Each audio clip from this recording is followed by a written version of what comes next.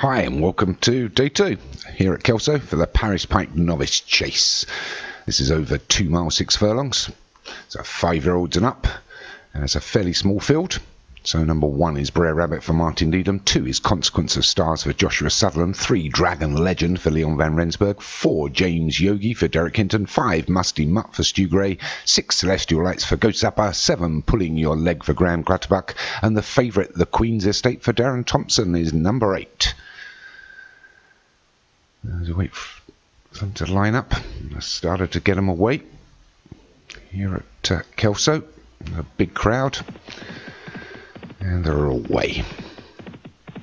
Right, as we're going to wait for them to settle. It's a John Morgan front runner that takes us into the first. Celestial Lights.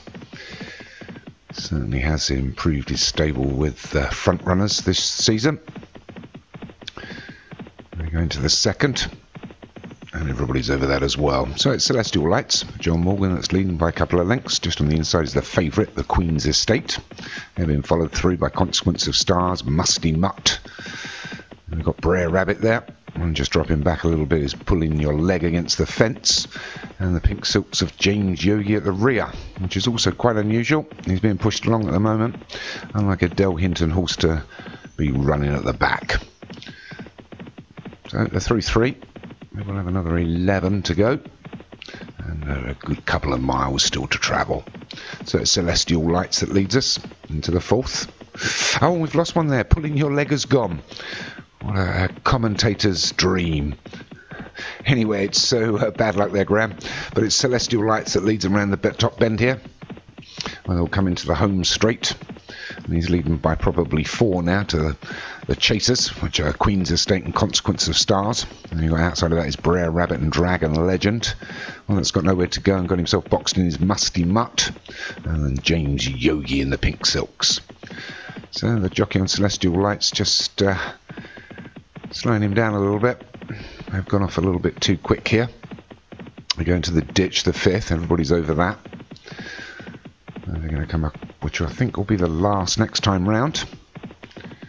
They're going to come past the winning post, maybe not, because I've just seen another, like a two furlong bolt. Don't know me course at. Oh look, there's a bunker over there. There must be Wolf and Celestial Lights dove at that one. Got away with it. That'll be the last next time round. He'll be wanting to get over that much, much better. So as we pass the stands, it's Celestial Lights that leads us from Dragon Legend. And the blue silk's out wide. Inside of that is Brer Rabbit. Closer to the fence is Consequence of Stars. And we've got the pink silks of James Yogi. Black and green silks of Musty Mutt. And the Queen's Estate just having a, a nice easy run round the rows at the moment. So as they approach the seventh, better jump by Celestial Lights, although it's a little bit slow. It's allowed the pack to get within a couple of lengths. They take this hairpin turn here on the left. I'm glad it's not a bigger field, but it's Celestial Lights that leads us by a couple of lengths. The consequence of stars against the fence. Musty Mutt on the outside of that. And Dragon Legend and Brer Rabbit even wide up. They all get over that, although the Queen's Estate was very slow. Mm, Jockey having to push him along a little bit now. But still well over a mile to travel. We go into the ninth. Everybody jumps it well. Nice fast jump by Brer Rabbit. But it's still Celestial Lights that leads, but just half a length now.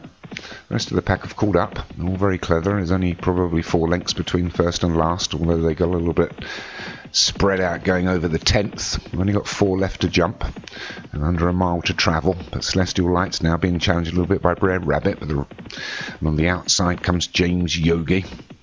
We've got Musty Mutt, one against the fence consequence of stars, and the two just at the rear at the moment are Dragon Legend and the Queen's Estate. They approach the 11th. First rises Celestial Lights, the rest of them get over it.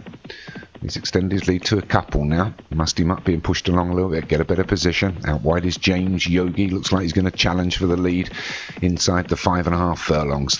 Approach the 12th. Everybody's over it. Slow jumps at the rear from Dragon Legend, Brer Rabbit, and the Queen's Estate. And James Yogi's taken this up now. Being chased through by Consequence of Stars. Celestial Light's still there. The one on the outside is Musty Mutt. Queen's Estate starting to motor. One on the outside of that is Dragon Legend. Brer Rabbit's getting caught a little bit for toe now. As they approach the next, it's James Yogi that leads with Consequence of Stars. Celestial Lights got himself boxed in with no room. On the outside here comes Dragon Legend, and Dragon Legend looks like he's going to lead us into the penultimate first. It's Dragon Legend now starting to pull away from Consequence of Stars and James Yogi. The Queen's Estate starting to move now. Brer Rabbit's getting caught for, for toe. They're over the 13th, the penultimate. Everyone's there. It's Dragon Legend that now leads by 3 to 4.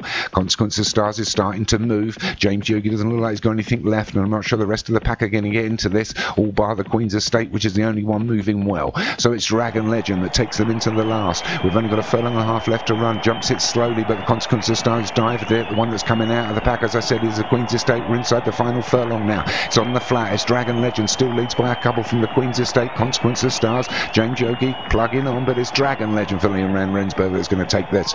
We're inside the last 50 yards. It's Dragon Legend. Cross the line first from the Queen's Estate in second. Consequence of Stars third.